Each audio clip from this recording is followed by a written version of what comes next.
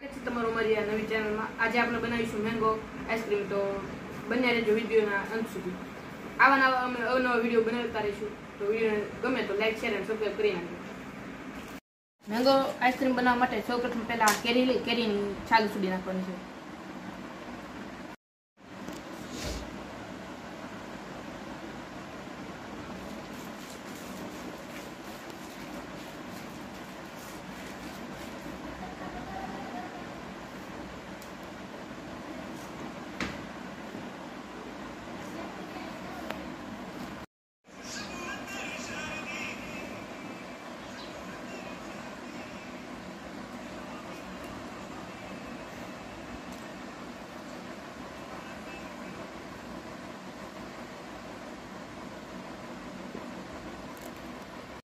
આ પ્રમાણે મેં બે કેરીની છાલ ઉછળી નાખી છે. ખમણી ખમણી કેરી ખમણી નાખવાની છે, એટલે એનો રસ નીકળી જાય. આ આ પ્રમાણે.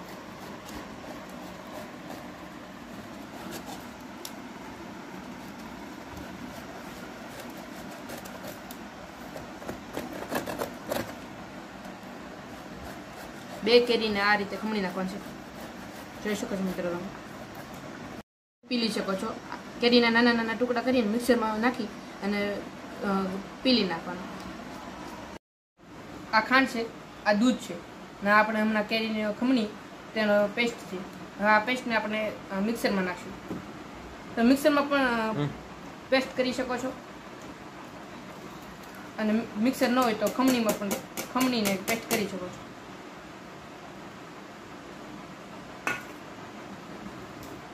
હવે આમાં ત્રણ ત્રણ ચમચી ખાંડ નાખી દઉં.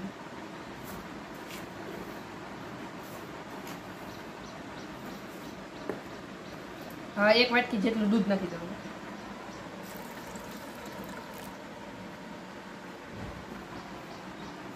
મિક્સર હવે મિક્સરને ઓન કરી દઈશું. ઓન કરશું.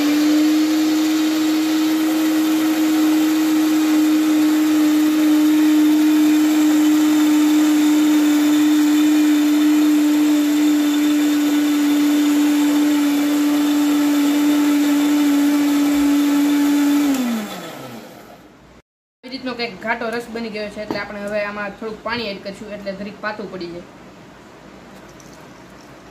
થોડુંક એવું પાણી નાખશું ફરીથી પાછું મિક્સરમાં મૂકશું.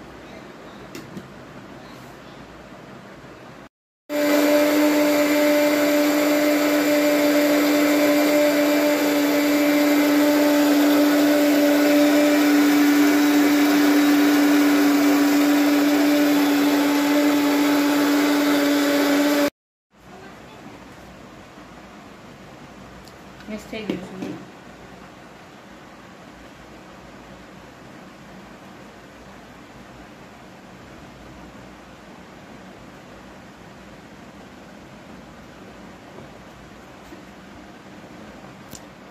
આખી રાત અમે ફ્રીજમાં મૂકી દઈશું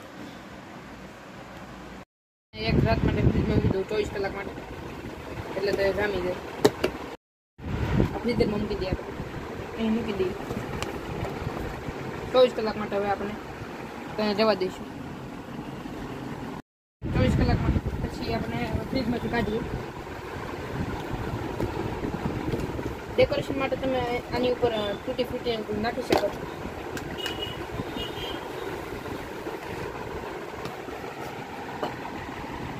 થોડીક આપણે તૂટી ફૂટી નાખી દઉં ડેકોરેશન માટે. તેથી એનો શો વધારે આવશે.